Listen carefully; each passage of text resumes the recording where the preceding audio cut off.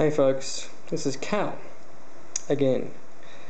This is a video that describes how when you connect and disconnect the vacuum hose to your fuel pressure regulator, how it affects your mixture. So there's been a bit of confusion about what this, how this actually works, and what this test is meant to show you is that when you disconnect it, it reaches up, and when you connect vacuum to it, it leans out.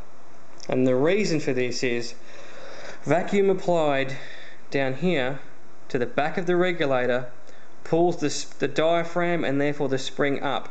If the spring comes up, more fuel escapes back to the fuel tank, therefore reducing the pressure in the fuel rail. I've got my laptop over here, running a power commander with auto tune. I have my air fuel ratio readings there ready to go when I start the bike. What I'm going to do is put the camera now on my left hand. A little bit dodgy as I do this. Alright. Now I'm going to start the bike.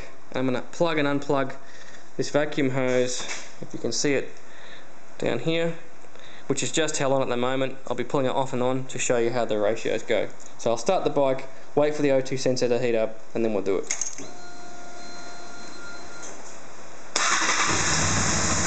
Just going to zoom in a bit.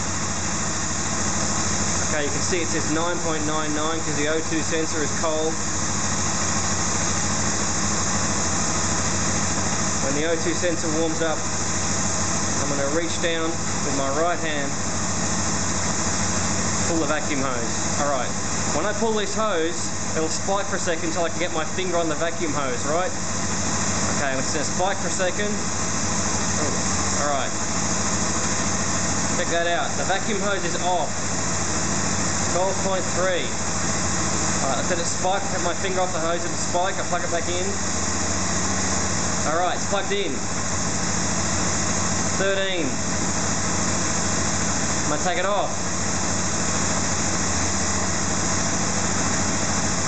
12.5, 12.4, 12.2. Okay, I'm to put it back on. Wait for it. Back on. You may even hear the slight change in the engine note. 12.8, 12.9, 13. Take it off.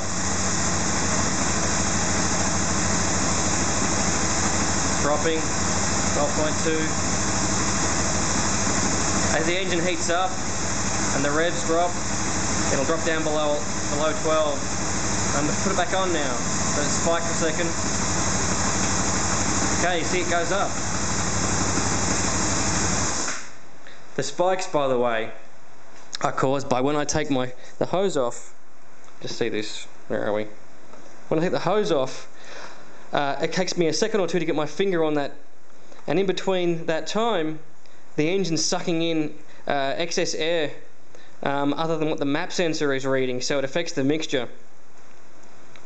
Obviously, leans it out some. That's, that explains that.